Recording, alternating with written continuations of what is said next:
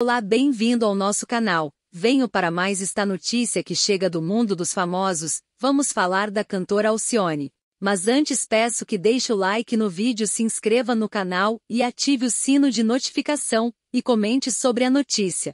Gente, o carnaval terminou, mas a escola de samba Mangueira já escolheu seu novo enredo para o carnaval de 2024.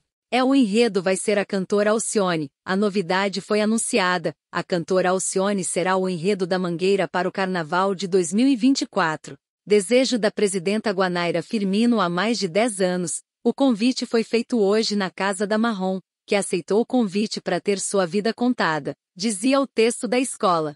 Estou muito honrada e emocionada com o convite. Nunca imaginei tamanha homenagem, disse Alcione, em declaração divulgada pela Mangueira.